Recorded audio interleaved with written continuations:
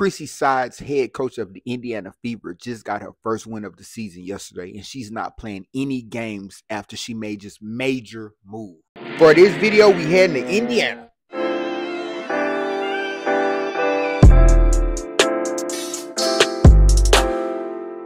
So going into tonight's game against the Las Vegas Aces, Christie Sides made a major move that has the whole internet talking.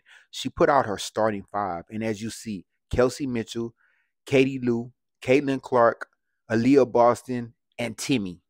Who's missing out that equation? NaLyssa Smith.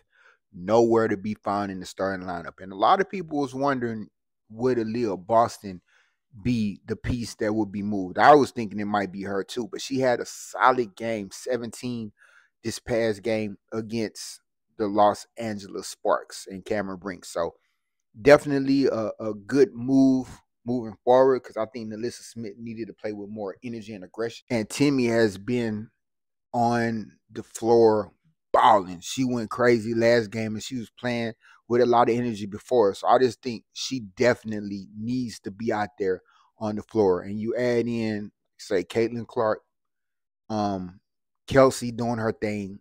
If you can just get Aaliyah Boston to be more consistent, and I think she's coming along gradually, just understanding how to play with Caitlin Clark in in the new scheme. So I think she's going to eventually get it. But um, man, what what a major move ahead of a big time game against K Martin and the Las Vegas Aces. So it's definitely going to be interesting to see how the starting lineup kicks off. And NaLyssa Smith pretty much is going to come in the game. She's going to get playing time. She's just not going to be that first five to get out there. So it's definitely going to be interesting to see how everything plays out. And it's going to be a, a real good game. I feel. I don't that the Las Vegas Aces is going to run away with the victory, as some may think. I think it's going to be real competitive because I think Caitlin Clark just needed that first dub under her belt. And now she's comfortable and she's going to get ready to go to work along with her other team because she's figuring out who plays best with her. So y'all let me know what y'all think about this in the comment section. Make sure y'all like and subscribe. I want to go 1 0 every single day. I want to have a great practice every single day.